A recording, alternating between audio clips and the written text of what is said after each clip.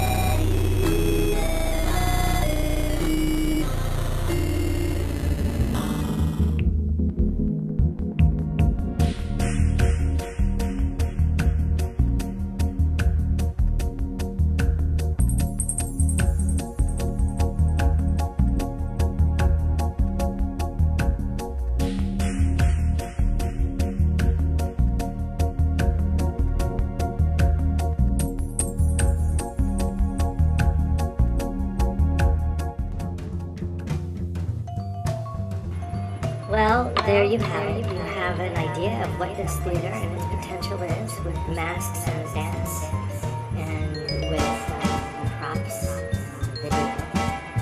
I hope you'll contact me soon